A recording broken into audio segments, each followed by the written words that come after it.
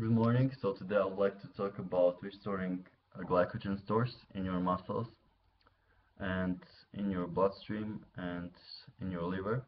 So the food you eat yesterday becomes the energy you need for today.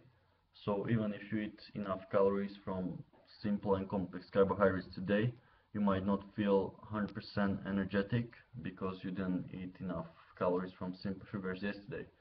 So uh, it's important to eat enough for tomorrow's energy and always restore your glycogen stores. Um, it's also important to eat enough calories so you don't binge on fatty foods or foods you regret that might take more digestion uh, later on.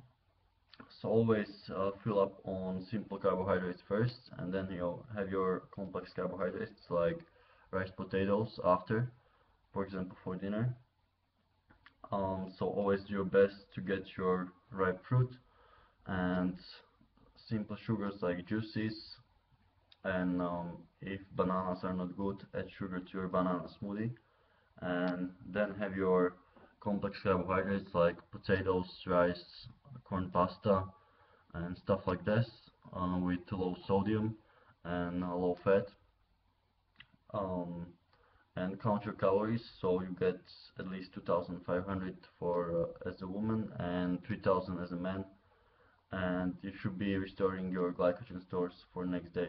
If you do extra activity remember to eat more or uh, eat until you not hungry anymore or you're fully satisfied. So remember to eat for tomorrow and to have a high energy levels and not binging on crappy food. Thanks for watching, see you next time.